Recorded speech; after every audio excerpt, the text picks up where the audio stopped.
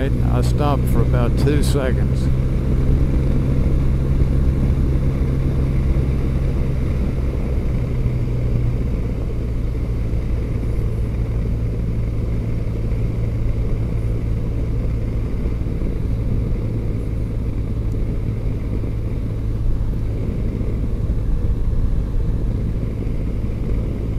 I may be with uh, Obama on this one. They ought to make every square inch around here a national park. It's not like the people out here raising things. By the way, it's supposed to get up to 102 today. Hit about 100 yesterday. But don't worry about me.